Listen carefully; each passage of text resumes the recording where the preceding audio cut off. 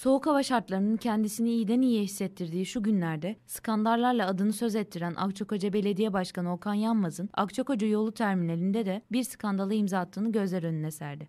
Hem yolcuların hem çalışanların iddiasına göre Akçakoca Belediyesi kontrolünde olan Akçakoca Yolcu Terminalinde ısıtıcılar çalışmıyor, doğalgazlar verilmiyor. Yolcuların ve çalışanların battaniye, mont gibi eşyalarla kendilerini donmaktan koruduğunu ifade eden vatandaşlar, durumu defalarca belediyeye bildirmelerine rağmen hiçbir şekilde çözüm üretilmediğini dile getirdi. Turizmin kalbi olması gereken ilçenin, turistlerin ilk ayak bastığı yer olan terminalinde yaşanan bu skandala Akçakoca halkı tepki gösterirken, bu soğuk kış gününde terminalde yaşanan soğuk dramı vatandaşlar tarafından görüntülendi. Öte yandan durumu gören vatandaşlar turistlerin ilçeye ayak basar basmaz karşılaştıkları bu skandalın ilçenin geriye kalan turizm güzelliklerine karşı da olumsuz bir izlenim bırakacağının altını çizdi.